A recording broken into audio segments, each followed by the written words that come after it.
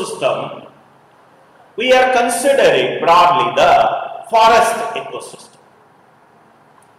In forest ecosystem, the different kinds of forests you are observing. Sometimes evergreen forest, deciduous forest, uh, semi-deciduous forest, arid forest and so on. So here the vegetation also changes from forest area to forest area. Some of the plants they are totally growing in water. We are calling them as aquatic plants or hydrophytes. So we'll go to the whiteboard and we'll discuss that.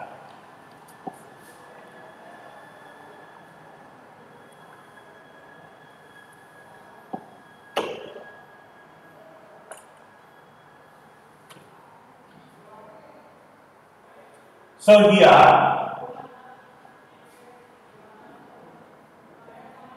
hydrophytes.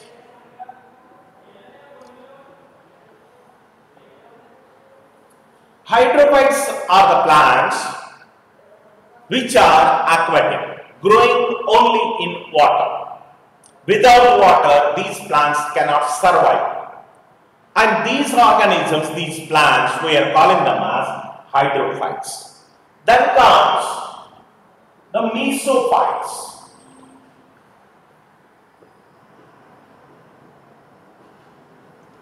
Mesophytes are the plants which are totally terrestrial. And here the plants are having broader leaves. The lamina or the area leaf area is very large because they absorb maximum amount of sunlight and they undergo photosynthesis and also the plants compete for the light and grows taller and taller. Such a type of plants we are calling them as mesophytes. And the most important we are calling them as xerophytes.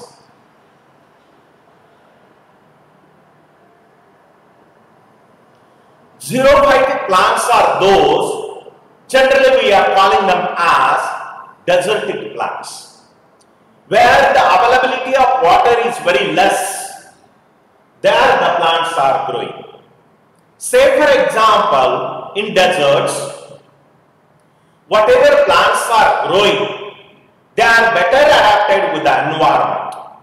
Here, the root system is very strong and roots are negatively geotropic uh, sorry, positively geotropic So as a result, the mother root grows very deep inside the ground and this root searches water inside the ground. So as a result, the root system becomes very strong. And aerial part if you are observing, the leaves are converted into spines it is only because to reduce or to check the water loss or the transpiration. If suppose the lamina or the blade of the leaf if it is broader, it, the transpiration will be very high. Maximum amount of water is converted into water vapor because of the stomatas the water is lost from the plant. But in desertic plants or xerophytic plants, the leaves are converted into spines. If suppose little bit broader leaves, the stomatas are totally sunken. Or else sometimes the succulent plants also you are observing. Here you can take an example of opuntia. You can take an example of aloe vera and so on. Here the leaves are modified into spines to check the water loss. So in this way, the different kinds of plants you are observing. Along with this, the pole plants also you can see and grasslands you can see and so on. So, here we will study one or two examples of food chain and how energy flows and also how food web is formed. Just see, we'll go back to,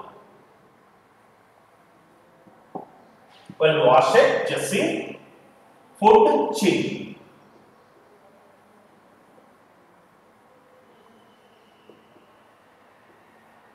Now see the food chain. The interrelationship between the different trophic levels in an ecosystem is called as food chain. One trophic level is uh, in connection with the other trophic level. It is like a chain. So we are calling it as a food chain. One example we will take and we will discuss regarding that. The grassland ecosystem. In grassland ecosystem, first we will start with the grass. That is the producer. Then grass is eaten by the rabbit. This is the herbivore that is primary consumer. Then rabbit is eaten by a fox. Then this becomes the secondary consumer. And then fox is eaten by the lion or else the tiger you can take. We are considering it as the tertiary consumer. So the different trophic levels you observe here. The producer it is becoming T1, consumer primary it is becoming T2, and secondary consumer it is becoming T3 and tertiary consumer it is becoming T4. So as a result different trophic levels you are observing and one is eaten by other. So we are calling it as prey-predator relationship. So what is prey-predator relationship? Here prey is one which is get eaten Predator one is uh, predator is one which eats. Say for example, here rabbit. Rabbit is eaten by fox. Rabbit becomes a prey. Fox becomes a predator. In next step, lion and fox. Lion is becoming a predator and fox is becoming a prey. So in this way, prey-predator relationship we are observing. And in food chain, this prey-predator relationship plays very important role. This is a food chain. Now, the question comes, the food web. What is food web? Just I am changing the color. Just see here. I am telling you something about food web. Food web. So now see, in grassland ecosystem, one chain we are taken.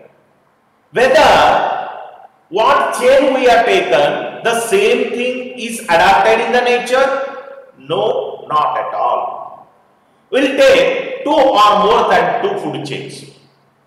Okay, if single chain you are taking, we are calling it as a food chain. If suppose two or more than two food chains they interact with each other, then definitely we are calling it as a food web.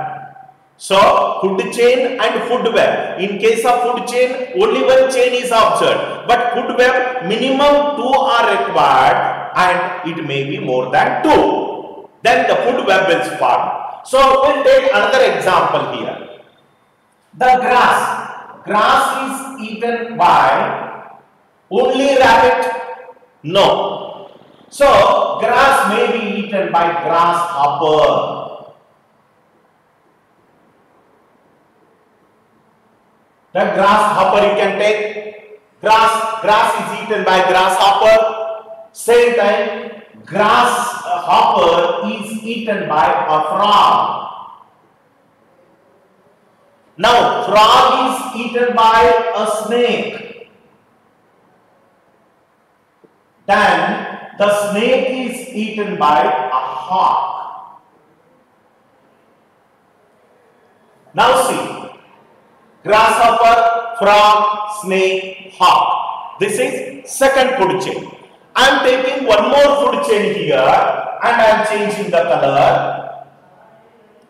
Just see, the grass again is eaten by, take one more example. Here, bison, then bison is eaten by hyena, Hyena is eaten by the tiger. Okay, so three food chains I considered. Now see, whether any rule is there in the nature, the uh, frog has to eat only grasshopper or else the rabbit has to eat only the grass. It may eat a carrot, it may eat some other plant and in the same way fox, fox is having any uh, rule that it has to eat only rabbit. No, fox can be, uh, fox can eat a bison, fox can eat a grasshopper, fox can eat a snake. So like this, the interconnections you are observing. So here we will connect it. Then we will come to know here the frog and rabbit. Okay. So here hyena, hyena can eat a rabbit. Then hyena can eat a frog because it is a scavenger.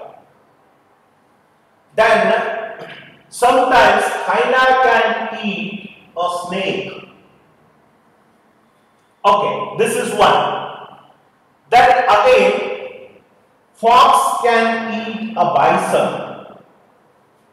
Fox can eat frog.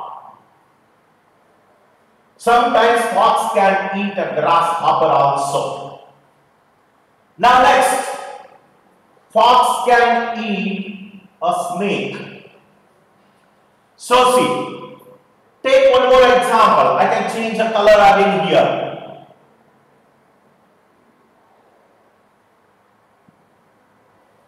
Now see, the lion, lion can eat bison. The lion can eat hyena.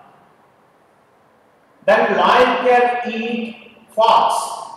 Lion can eat frog. Lion can eat snake. In the same way, the tiger then lion can eat rabbit also.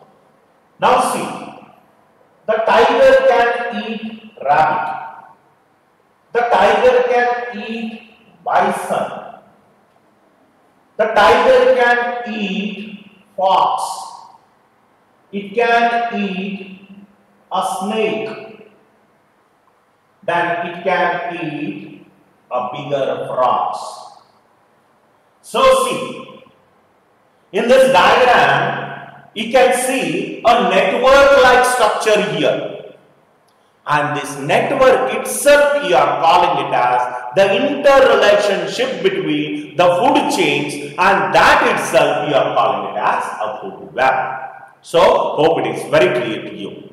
Now, in this way, you observe a food web. Here, the different trophic levels, they are interacting with each other and such a type of two or more than two food chains, they are interconnected in the ecosystem, then you are calling it as a food web. So in this way, the food web you observe.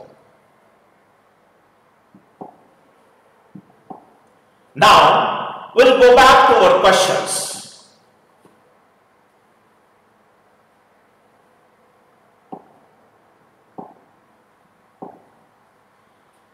Now see, environmental biology, In this ecological plants, group succession, some headings are given and here the questions are actually intermixed. We'll see. The next, the question number.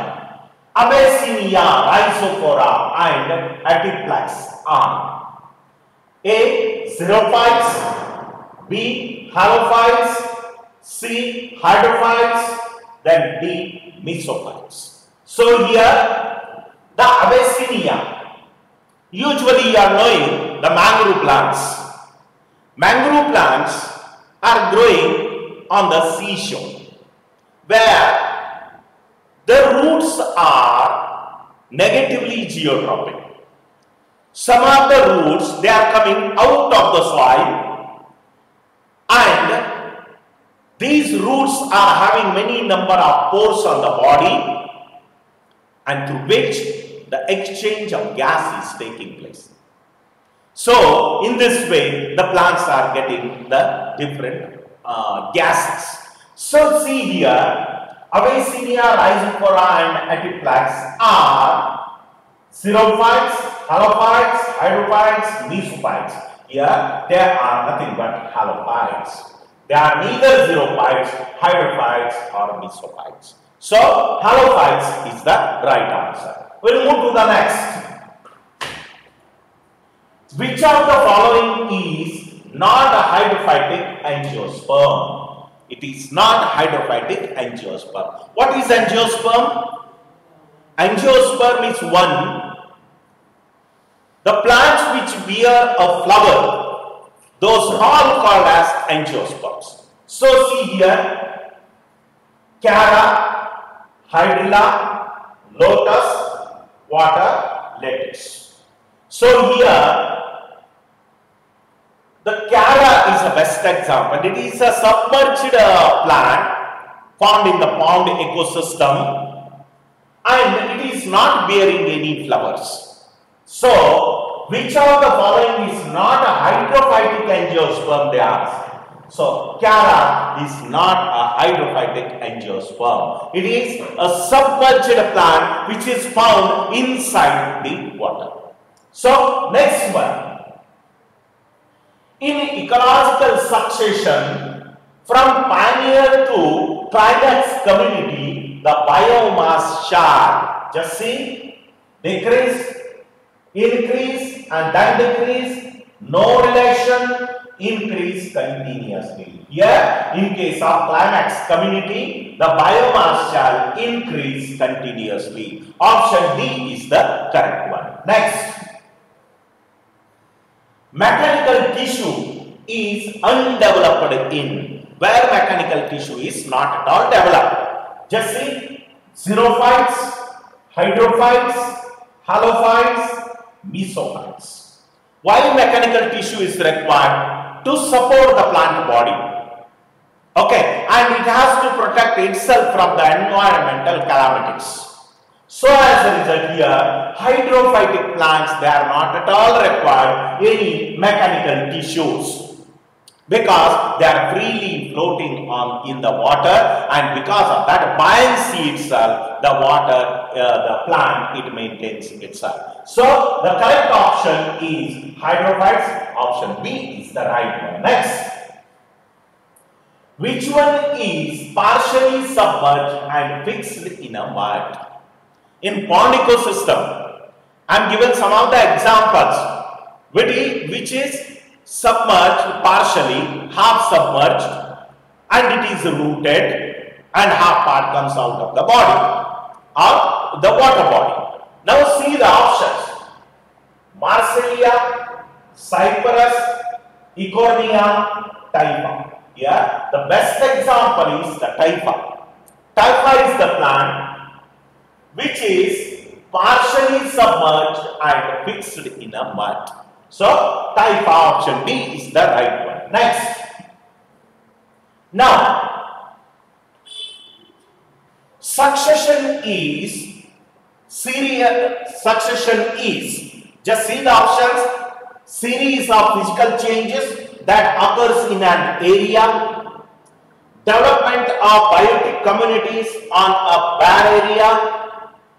Series of biotic communities that appear in a previously bare area. Than both A and B. But here the right answer is option C, series of biotic communities that appear in previously bare area. Next one.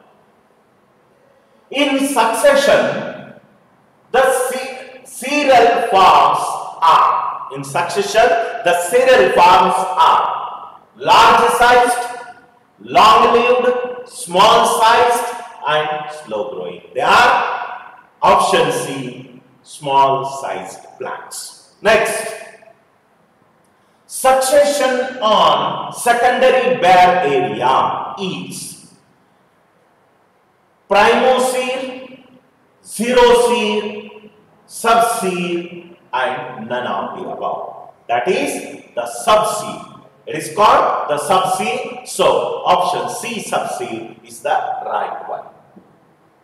Now see the next. Secondary succession occurs on. Where secondary succession is occurring? Burnt lands, limber lands, cut woodlands and all of these. So see, the secondary succession in the sense, primarily the plants used to be because of the nature they are eradicated, but their debris will be there in the particular area and secondary succession starts. So here the burnt lands, they are the examples. Then Limban lands, they are the examples. Cutwood lands, they are the examples. These are the areas everywhere the secondary succession is taking place. So option D, all of these is the right one. Next, Plant succession is a process. What dash process it is? Just see definite, then haphazard, unique, unimportant, unimportant, then none of these. So here it is a definite process. So plant succession is a definite process. Option A is the correct one. Next. In submerged plants, just see. Anaerobic respiration is a rule. Aerobic respiration occurs by utilizing dissolved oxygen of water. Anaerobic and aerobic respiration takes place simultaneously. Then none of the above. Here, the correct answer is aerobic respiration occurs by utilizing dissolved oxygen. So, option B is the correct one. Next, mangrove forests are found in Uttar Pradesh, Madhya Pradesh, West Bengal, Himachal Pradesh. So I told you the mangroves where they are growing, they are growing near the seashore. So the correct option is option C, West Bengal. West Bengal is the place where you are getting the mangroves. Next, water plants provide dash to water animals. What water plants are produced, uh, giving to water animals? Just see. Oxygen and food, water and carbon dioxide, food and water, shelter and shade. Definitely they are giving oxygen and food material to the animals. So option A is the right one. Next. The early settler on a barren area are early settler, uh, settler on a barren area are just see ferns, mosses, lichens, diatoms. They are definitely a lichens. Lichens are usually growing on bare lands and bare rocks. Whatever the white patches you are observing on the wood or a rock that is nothing but a lichen. Here, algal and fungal association you are observing. Mutualism you are observing. So, lichen is the right answer, option C. Next. A community which starts succession in a habitat is, just see, pioneer community, serial community, biotic community, ecosphere. It is a pioneer community, beginning community. So, option A, pioneer community is the right one. Next, mangrove vegetation is found in. Again the same, see, mangrove vegetation where you are finding, again the mangrove plants, they are growing on the seashore. Just see, options, Dehradun Valley, Kulu Valley, Western Ghats and uh, Sundarbans. Here the correct answer is option D, Sundarbans. Next,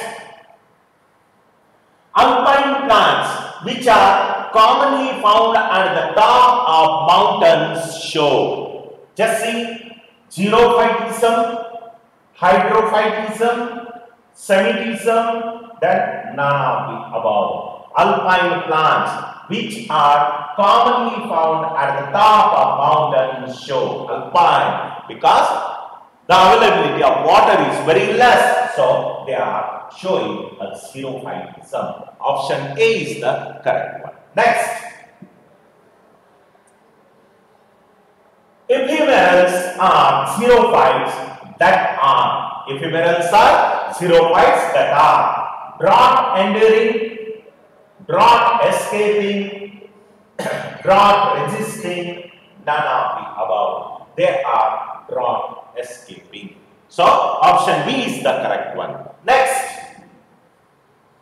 Plants growing in saline and marshy conditions are called Just lithophytes, mesophytes, halophytes and psammophytes. They are called halophytes. So option C, halophytes is the correct answer. Next, the vegetation of Delhi is chiefly, in Delhi what kind of vegetation you are observing? Hydrophytic, xerophytic, mesophytic, halophytic. It is definitely option C, mesophytic. Mesophytic plants are seen there. Next. So dear friends, we discussed today regarding food chain and food web. In coming class, we have to dis uh, discuss something about the community ecology. So, in community ecology, how one is benefited, how another is harmed, and what all names we are giving, that we will discuss. Because, see, this environmental biology is very, very important, again I am repeating, and it will be helpful to all kinds of competitive exams. So, friends, we'll stop here. Thank you.